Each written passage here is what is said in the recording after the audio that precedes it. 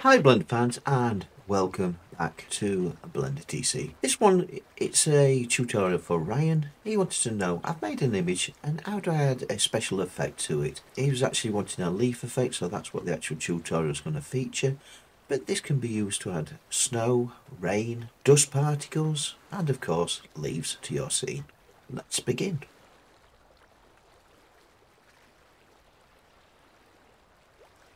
First of all, what we're going to do is we're actually going to move our camera to the correct position because as you can see it's over to the side and I want it to be central there. So press the N key and we're going to actually move it to zero like that. And what that's done is move it across the side. The height of it is about five meters high. I'm just going to lower that to about two meters high. So we've got the perspective of a person walking round. And I'm just going to delete this cube and I'm going to add in a plane, scale the plane up in the X direction by a little bit, rotate on the X by 90 just so it faces my camera and then I'm going to press Control and A and rotation and scale just to actually fix the rotation and scale of our plane.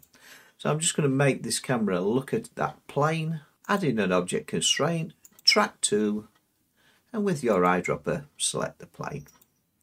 As you can see, our camera is now looking at our plane, and if we look through our camera, what we can do is we're going to move our plane G and Y, move it back to about there. With our camera selected, we're going to actually go into camera and we're going to make it look a lot further back. So let's make it look back about a thousand meters, just in case we want to actually move our plane back really far and we don't want to actually have clipping. So looking back through our camera, I'm just going to scale our plane until it fills our whole scene. And scale in the X. Oops. Scale in the X, just so it fills our whole, whole scene. So we've got our camera here. We've got our plane, G and Y. I'm just going to move it back again. Look for our camera, scale it up again. Rotation, fix rotation and scale. So we've got our plane, We've got our camera looking at our plane, so let's add our image to our plane. So going to this down here, which of course is our material properties, add a new material, and we're going to add in a base color and the base color is going to be an image texture and the image texture this is a, uh, I found on um, Pixabay um, it's a picture of some wood so I'm just going to open that quickly useful but it's up to you what your image is you can make your image from scratch if you wish. It's entirely up to you. Not that one. I'm going to select that image. So I'll go into my render. As you can see, if we look through our camera, we're looking at the image of some woods. Um, quite dark, pretty moody, but you get the idea. I'm now going to go into, which of course is viewport shading, just because it's easier to see things. Right, add in another plane, the mesh plane, and we're going to call this, scale this in the X, and I'm going to call this my cloud plane. So I'm just going to rename this cloud. And this is where my uh, leaves are going to fall. And G and Z, I'm just going to move it up and then G and Y, just to move it so it's above my camera. So all the leaves are going to fall from there. I'm just going to add in a simple wind, force field, uh, wind, also, I'm going to make that actually face towards this. I'm just going to add in a constraint, track to, and I'll make that track 2 this image as well.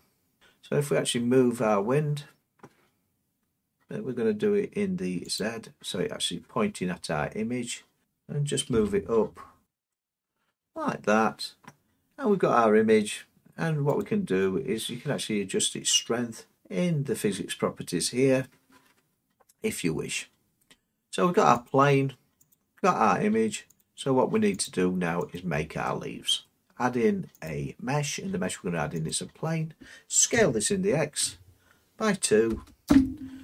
And this is what's going to be our leaves. So press the 7 key to look from the top and the full stop to look at it. As you can see, it's a bit too wide. It's not really A4, so I'm just going to scale that down on the X until it's about A4 and the image I'm going to use is one that I've made myself and it's also found linked below in the description on Pixabay but on my channel. So looking from that, it's also found in the community tab as well. So we're looking at that. We had the actual image, new image. And this time we're going to add in the base color and it's going to be an image texture. And this is going to be one that I picked myself. The image is a ping image, which means that it's got an alpha transparency on it, which will be very handy for our leaves.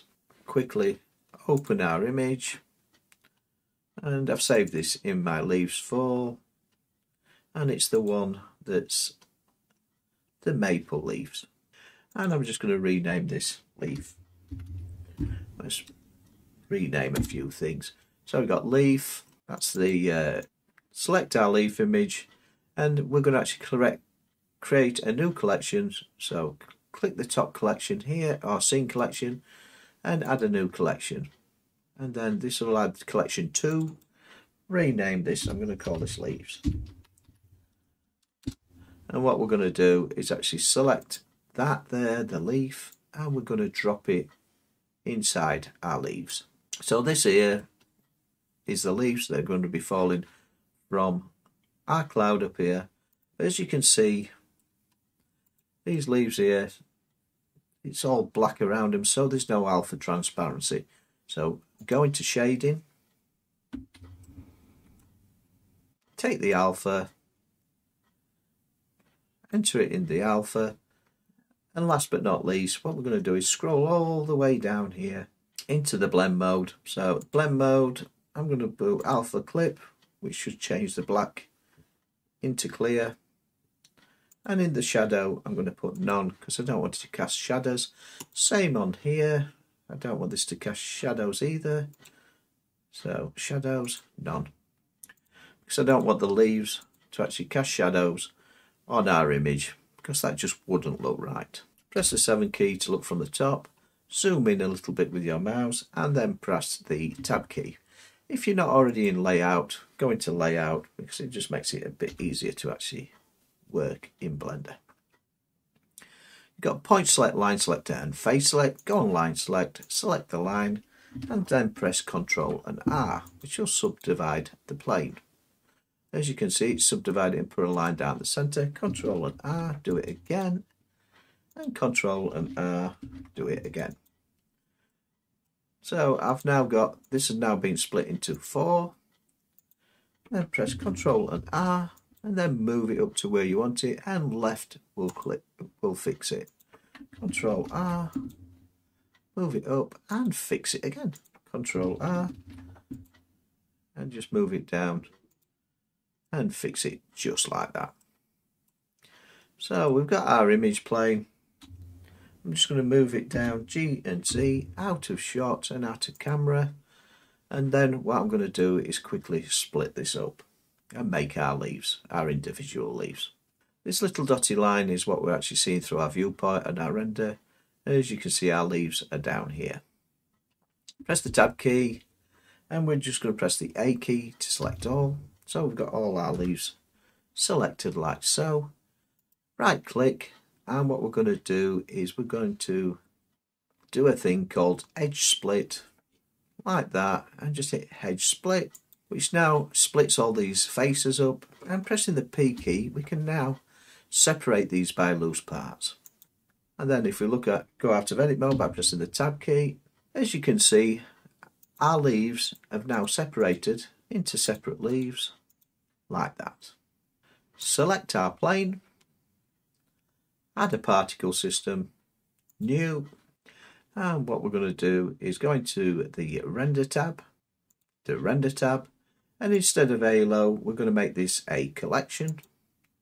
And the collection is going to be the leaves collection that we made earlier. And just to add a few more different bits to this what we're going to do is actually go into physics change this from Newtonian to a fluid and that should be about it and just press the space bar as you can see we've got little bits and bobs but they're just too small so you can't see them. So that's why we need to go back into our render tab, increase the scale to 1 And then increase the scale of the leaf. As you can see, our leaves are falling, but they're falling too fast by a long way. So what we need to do is go into the particle tab with our cloud plane selected and we're going to change the field weights. Right, gravity, I'm going to make this 0.2 now. In fact, make it 0.1, see how fast that goes. I still think it's a little bit fast. Now it looks like our plane is facing the wrong way, so I'm just going to rotate in the X by 180.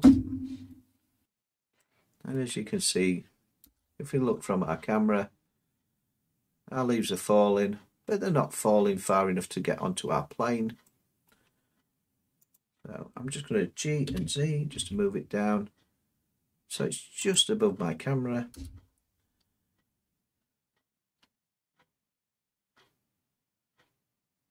And the leaves are falling down and out of shot.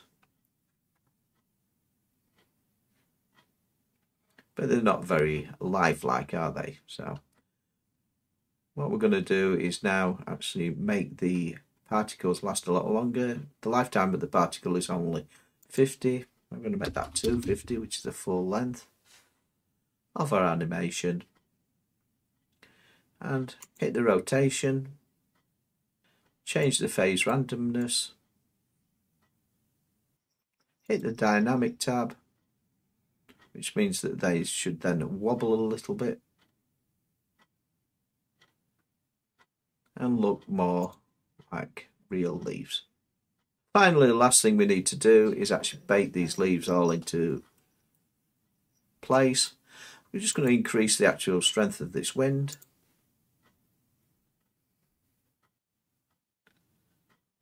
Just to make them go a bit faster and seem to actually go into our image like they did in the previous animation.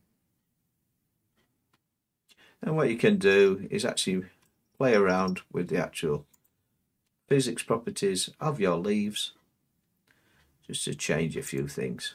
Like you've got velocity, you've got the physics, you've got the fluid, but you've also got Brownian, which means they'll affect each other if you take this right high and it makes them drift around a little bit more and drag will slow them right down. And if you use the dampening they will really slow down.